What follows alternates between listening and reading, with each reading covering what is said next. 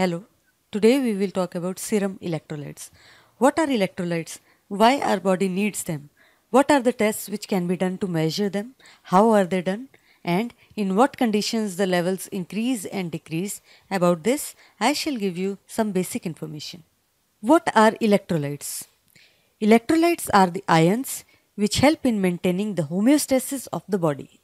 What are common electrolytes that are screened by various tests? The common electrolytes that are routinely screened are sodium, potassium, chloride, bicarbonate and calcium. Why does our body need to balance the amount of electrolytes? Electrolytes are important in maintaining the fluid balance of the body as well as the pH balance of the body. Apart from that, certain cells like nerves and muscles need electrolytes to maintain the voltage across the membranes so that they can function properly. How is this test done?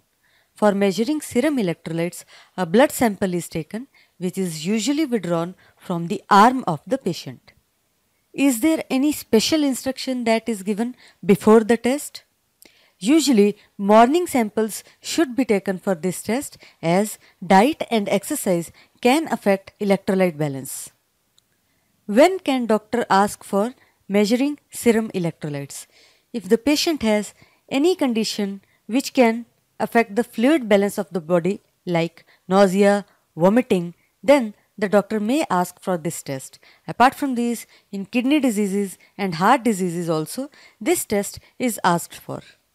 If the patient has symptoms like confusion or cramps, then also this test can be asked for. What conditions can cause deranged serum electrolytes?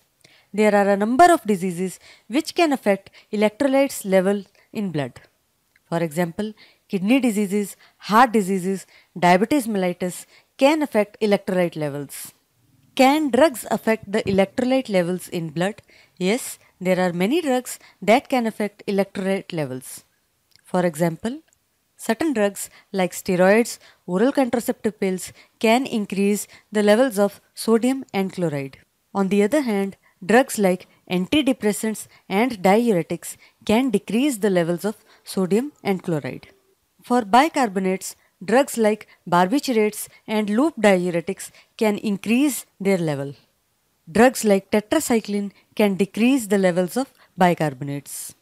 Certain medicines which are given to lower the blood pressure of the patient can result in lowered potassium levels in the patient.